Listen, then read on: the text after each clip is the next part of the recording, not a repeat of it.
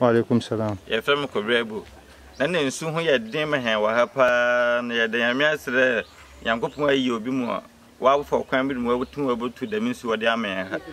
If you may, if you be a man, conscience. This I am your boy, me, and Sue Wahama. Yet to me, I'll be a guardia, dear baby, yet to be, yet did the idea, baby, I'd be best here, your man, I'd be a dear salam.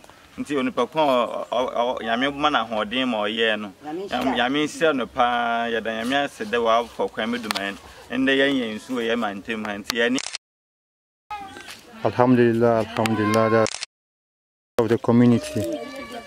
That's one of the youth of the community. Inshallah, he's praying and he's expressing their said before they used to suffer a lot when it comes to water, but now, Alhamdulillah, due to this project, today they are not so suffer again when it comes to water.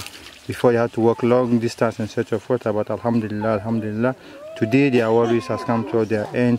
Familie Darwich. May Allah bless you for the good work that you brought to the ummah of this wonderful community. Wassalamu alaikum wa rahmatullahi ta'ala wa barakatuh.